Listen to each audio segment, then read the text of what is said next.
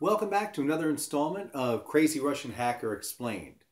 This particular explanation is something I've seen ever since I was a small boy. I used to do this uh, after dinner, after you have like a Thanksgiving dinner, you blow out the candles, and something magical happens.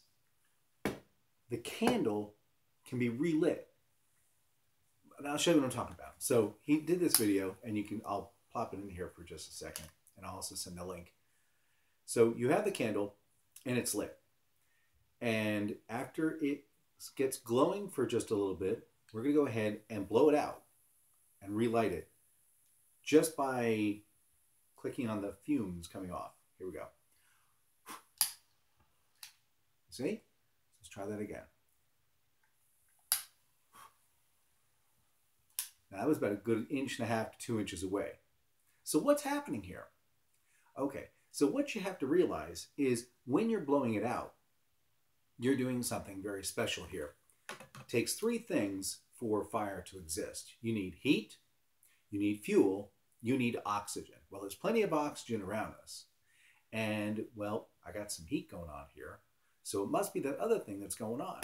When you blow this out, you're actually letting the little vapors that were actually being burned in the flame to be drifting off.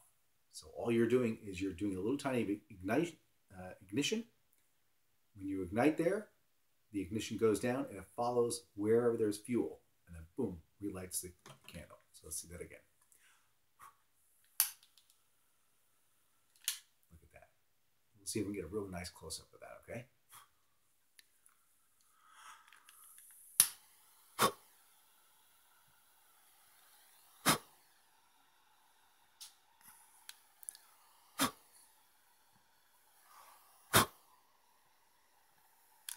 Well, I hope you like the explanation.